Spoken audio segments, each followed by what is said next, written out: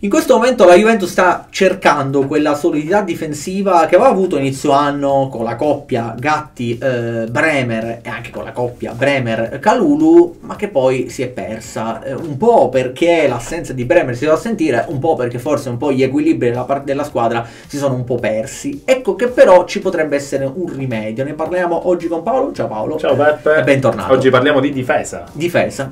La, la- la difesa è sempre il miglior attacco. Esatto. Dovrebbe essere questa la perla del giorno. La filosofia di La filosofia giornata. di, gio- di giornata. Filosofia che tra l'altro deve partire molto all'ex allenatore della Juventus, Esatto, Max Allegri, esatto. ma che non è più l'allenatore della Juventus. Attualmente c'è, c'è Tiago Motta.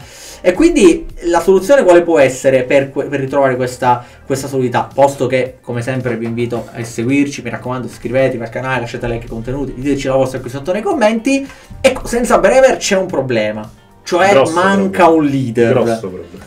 Eh, prima ancora di addentrarci in questa situazione e, e trovare delle soluzioni che possono magari risolvere il problema al di là del mercato, ti dico, eh, è soltanto il problema dell'assenza di Bremer, secondo te? cioè basta solo un giocatore a far crollare, cioè è possibile che si passa da sei partite dove non prendi gol con Bremer a ne prendi quattro con l'Inter, può essere soltanto lui il problema o c'è qualcosa di più che non sappiamo? Non soltanto lui, però la sua assenza è troppo importante, Troppo, nel senso sì. che ok che non è il 100% Bremer, ecco, Mm. della solidità difensiva delle prime partite della Juve, però io credo che almeno un 60-70% Bremer lo poteva fare, dico a prescindere poi dall'organizzazione tattica che dia Tiago Motta, che tra l'altro appunto come dicevamo all'inizio è sempre secondo me stato visto come un allenatore offensivo, ma in realtà fa della fase Mm. difensiva un suo punto di forza, Sì, anche a. Bologna era così, quindi ricordiamo che... Non Bologna- chiudendosi ma tenendo il pallone, Esatto, ma esatto, comunque... eh, esatto, quindi è, che, che è uno dei diciamo che il possesso palla, tenere palla è una delle armi difensive che una Certo. squadra possa adottare all'interno dei 90 minuti. Questo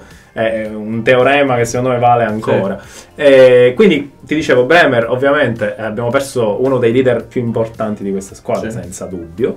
Eh, però, diciamo, a livello difensivo si vedono comunque delle cose che vanno bene, secondo me. Nel senso che eh, i concetti di Diego Motta li vedo applicati in un certo modo, eh, si fanno determinate rotazioni, determinati movimenti anche a livello di costruzione dal basso. Però certo, perdere Bremer perdi un marcatore perché Bremer è bravo nell'anticipo, è bravo di testa, è bravo nell'attacco alla profondità, a seguire l'attaccante che ti- Certo. ti, parte dietro. Quindi ovviamente perdendo lui e mettendo ad esempio, provando Danilo che è stato un disastro purtroppo per lui, Sì. che ovviamente non ha più quelle caratteristiche lì, è molto diverso da, da Bremer, ovviamente Molto. non, non- non hanno retto, non hanno retto il confronto con, con alcuni, con alcuni attacchi, e infatti la Juve ha preso praticamente 10 gol nelle ultime partite, quindi Sì. eh, questo è un problema, però diciamo che si potrebbe pensare a degli aggiustamenti, a delle possibili soluzioni. eh, e quindi da vedere in questo momento secondo me Gatti Calulu però è la coppia che dà più affidabilità sicuramente non Danilo, non Danilo centrale. Esatto, ed è proprio per questo che mi riallaccio proprio a questa tua frase per proporre, diciamo, qualcosa, eh, magari ne parliamo anche noi, così come ne parliamo con Tiago Motta ne parliamo con Tiago Motta, che ci sta seguendo Motta, che chiaramente segue tutti Esatto. i contenuti, è sempre lì a prendere appunti, perché eh, a noi cioè, è venuta, diciamo, un- un'idea, cioè io da inizio anno che continuo a dire che Danilo, a mio avviso, deve essere utilizzato come il Porsche di tutti. Eh, per Cioè. Porsche nel Bologna, che tra l'altro nasceva lui come centrale, Esatto. ma poi è stato posizionato da terzino destro, chiaramente bloccato. Con altri due centrali che poi andavano a formare con Calafiori e Beuchema, che poi andavano a formare questa linea 3, che Sì. poi col Tre lato- mezzo, tre e sì, mezzo, sì, esatto, ehm, che poi dava quella solidità. Io ho sempre pensato che Danilo dovesse giocare lì, cioè non come centrale, ma come terzino destro, che non è un terzino alla Jordi Alba, eh, che fa sali e scendi, ma che è molto bloccato, ma pur sempre un terzino, perché difendere a 3 o difendere da terzino e difendere a- in una difesa a 4 da centrale è tutta un'altra Cioè, cosa. totalmente Quindi diverso. io credo che in questo Tiago Motta, e lo possiamo dire senza gi- troppi giri, abbia sbagliato. Perché Tiago Motta dovrebbe vedere che Danilo è da anni che non gioca. In realtà come centrale a 4 non ha mai giocato. praticamente No. praticamente. Eh, forse qualche rarissima partita con Pirlo, ma Pirlo forse lo utilizzava più come terzino a destra e a sinistra e come mediano. Qualche volta sì ha provato mediano anche alla difesa. sì, sì, sì. Però di certo non come centrale, questa secondo me è una pecca. Ecco, secondo te può essere una soluzione anche per riprendersi un po' Danilo? Perché in questo momento Danilo è passato dall'essere il capitano, Eh, la infatti. bandiera e quant'altro, oggi con chi parli parli Danilo è l'ultimo degli elementi. E secondo me è anche ingiusto, ti dico la verità. E allora ti dico, può essere quella di spostare Danilo come terzino a destra o a sinistra? Dimmi tu.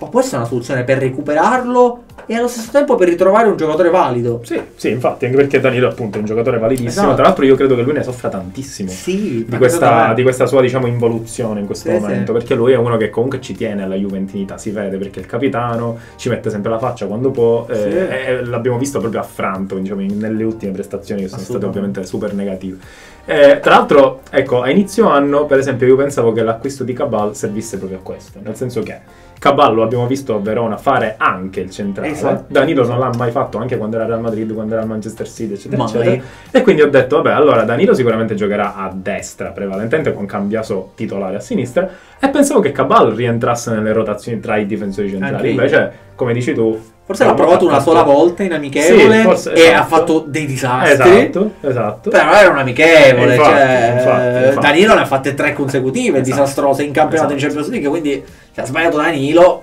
può sbagliare anche Cavallo. Però, diciamo, questa tua. eh, diciamo. Mi, mi piace questa idea che Sì. hai tirato fuori perché, appunto, Danilo, tra l'altro, credo perché, diciamo, gu- guardando eh, i difensori della Juve dal punto di vista della qualità palla al piede, penso sia uno dei più puliti tecnicamente. Eh, sì. Perché, vabbè, Cambiaso non lo conto perché Cambiaso fa il tuttocampista. Non, non Sì. lo, non lo reputo neanche più A un parte difensore. lui, sì. Eh, Cabal ha quel qualcosina, diciamo, diciamo, di qualità anche palla al piede, però Danilo secondo me è quello che, come dici tu, giocando magari terzino destro bloccato, ti può anche consentire un'uscita di palla più Esatto. Quindi questo potrebbe essere, potrebbe essere un'idea. E poi giocando bloccato, e avendo ad esempio cambiato dall'altra parte, si può attuare una rotazione che permette di diventare quasi una difesa a 3 con cambiaso che si alza tra i centrocampisti. Questa diciamo è una cosa che ormai è, modernità, non è più avanguardia. Ormai ne parliamo come se fosse, no? Siamo tutti normalità. esperti di tattica Esatto, ormai. esatto. Però in effetti sono cose visibili, cioè quando tu vai Sì. a guardare una partita lo vedi, che c'è, un- c'è- c'è sempre uno che si, che si alza e uno che ruota e quindi c'è sempre questa rotazione che, che avviene in tutte le squadre Sì, praticamente, sì. non solo nella Juventus. Eh, quindi sì, potrebbe essere un, eh, un'idea e un modo anche per appunto far riprendere un po' Danilo dal punto di vista anche morale, cioè Sì. perché se crescono le prestazioni cresci anche dal punto di vista morale e, e tutto poi viene, viene bene, ecco quello è il punto. Quindi è una soluzione che ti può che, che può portare, diciamo, a una solidità ritrovata e anche un ritrovare Danilo e con Cabal che potrebbe fare il centrale. Ti dico, e invece Savona potrebbe fare anche lui il centrale con magari Savona centrale al fianco di un Gatti, per esempio. È una cosa perché lui next gen qualche partita centrale l'ha fatto, però un conto è la next gen, un conto è la prima Certo, ovviamente queste sono categorie diverse, livelli diversi, questo è ovvio. Eh, diciamo che ho qualche dubbio perché appunto eh, dal punto di vista della personalità non so quanto Mm. possa dare da centrale. Non che non lo possa fare perché magari col tempo può essere pure che diventa... un ancora molto giovane. Esatto, è giovanissimo, quindi lo si può plasmare ecco, Mm. come, come si vuole in un certo senso.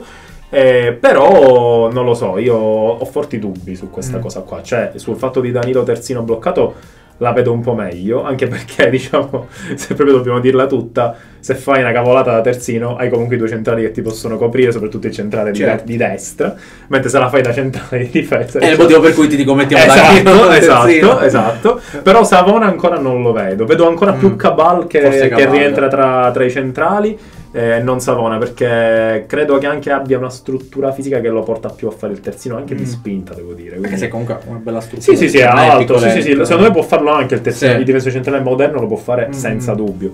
Però ancora, magari tra qualche anno. Vedremo. Io Esatto. intanto chiedo ai nostri amici qui sotto cosa ne pensano di questa soluzione tattica che almeno, almeno momentaneamente può risolvere. Certo, perché poi è chiaro che a certo. gennaio devi intervenire sul Uno, mercato, uno. lo devi prendere. eh, ne abbiamo parlato, ne parleremo ancora tanto. Però da qui a gennaio ci deve arrivare. Perché al di là della sosta, po- poi comincerà un periodo con tante partite. Poi non è che il mercato, il il difensore te lo porta il 2 gennaio. Esatto. È possibile che il mercato, o meglio, la Il trattativa per 25 gennaio. Esatto, e da lì al- dall'1 al 25 gennaio non C'è anche la Supercoppa di me. Esatto, bravo, c'è anche la Supercoppa, quindi ci hanno tante partite, quindi bisognerà capire come, come fare. Per cui chiedo a voi qui sotto nei commenti cosa ne pensate, analizziamo un po' la sezione della difesa di Juventus anche qui sotto nei commenti insieme a voi e...